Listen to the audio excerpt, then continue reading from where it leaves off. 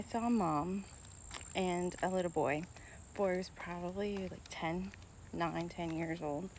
And they were in the paint aisle looking at possible paints to paint his closet. Right, they were going through colors. She was like, What about yellow? What about green? And he goes, Pink. You know, he points to the pink can. And she's like, The pink one? He's like, Yeah. She's like, You don't want the pink one, do you?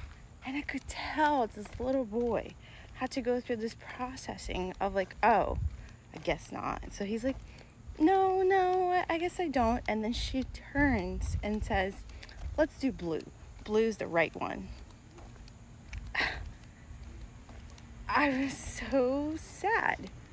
Just so sad for the entire reaction. Sad for the boy. Sad that that's where we are.